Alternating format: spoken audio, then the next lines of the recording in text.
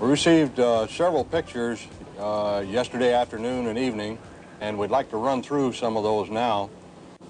Uh, this is the one you, that came in here at about 3 o'clock yesterday afternoon. This is uh, by far the most spectacular picture uh, we have so far.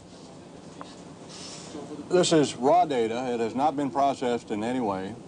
Uh, we can see the, the big banded planet, and the, of course the ring system is very prominent in this picture. Also prominent is uh, Saturn's largest moon, Titan, in the upper right-hand corner.